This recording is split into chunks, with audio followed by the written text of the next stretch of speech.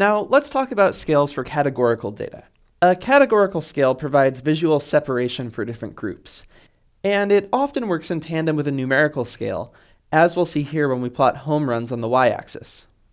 A bar plot, for example, can use a categorical scale on the x-axis and a numerical scale on the y-axis. So let's say that we were measuring home runs by position.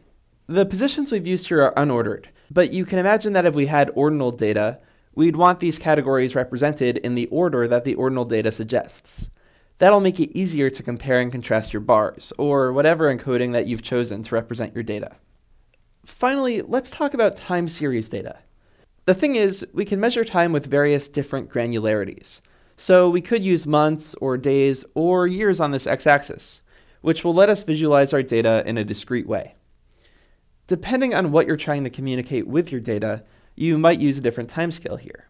So if you're looking at fluctuations that happen on a very short timescale, days are more appropriate. But if we're looking at long-term trends, we may want to look at data on a month-to-month -month or year-to-year basis.